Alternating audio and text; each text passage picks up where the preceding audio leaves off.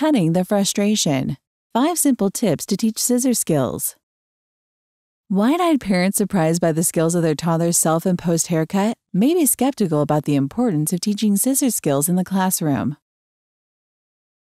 Certainly, some children just know how to use scissors, right? Seriously, though, it is not unusual for a child to struggle with the concept and need assistance with at least one of the scissor skills needed to master the art of cutting. Scissor use involves several types of skills that need to work in tandem. Fine motor skills used to grasp and maneuver the scissors are frequently underdeveloped in younger children or in those with special needs. Solid eye hand coordination is also necessary to follow the movement of the scissors, as well as bilateral coordination to simultaneously use each side of the body to perform different skills. In other words, one hand to use the scissors and one hand to maneuver the paper. Here we offer some tips and tricks that can help ease the frustration that can occur when teaching little ones scissor skills and how to properly use sharp and pointy objects. Tip number one don't skimp on safety. The cost of school supplies can make it seem tempting to fulfill requirements with the support of your local dollar store. But for children who are gingerly wielding the sharpest of tools, good quality is imperative. Absolute beginners require blunt tip safety scissors, and some benefit from the spring loaded pair, which is easier to open and close. Small hands tire easily, no matter how adept a child is with scissors. If they are using a subpar pair, this project will take them longer and become more frustrating. If your student is working on hand strength or basic cutting motion by cutting Play Doh or putty, there are scissors designed for those materials as well. Tip number two teach simple strategies. In the beginning, some students will have no idea that there is a right way to hold scissors. The variety of ways in which younger students will twist and turn their hands in attempting to hold scissors is remarkable, and improper holding form can continue for months if not corrected. To speed up the learning process for scissor holding, pre K pages suggest wrapping a small piece of electrical tape around the thumb hole and telling students that they should see the tape while cutting. To further enhance the concept, the Inspired Treehouse recommends thumbs up cutting. This method involves putting a sticker on both of the child's thumbs, instructing the children that if they can see stickers on both the cutting hand and the helper's hand, then they are cutting properly.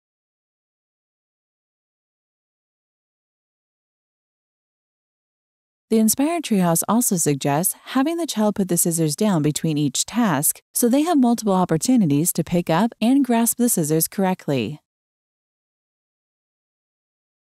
Tip number three stack learning.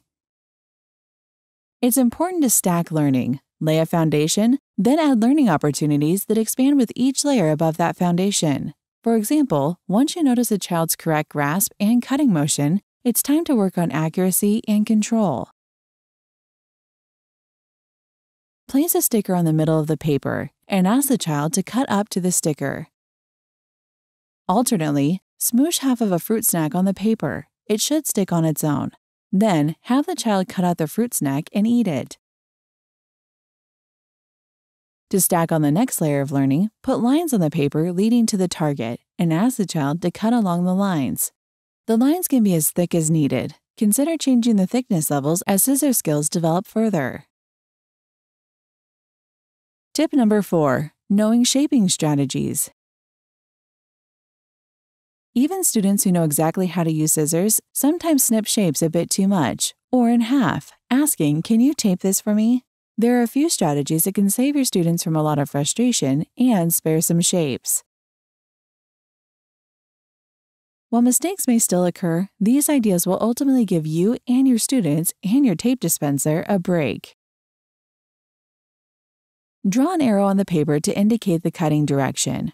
Right handed students should cut counterclockwise, while lefties should cut clockwise. Draw a dotted line from the edge of the paper to the shape so students know where to cut to reach the shape. Draw a dot or place a sticker beyond the corner to show how far to cut before turning the paper to get to the next side of the shape. Tip number 5. Be concrete and imagine the fun. Some students will need more practice and encouragement than others to get their scissors skills just right.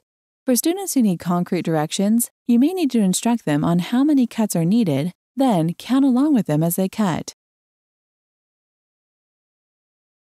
A simple 1, 2, 3, 4 stop may be sufficient.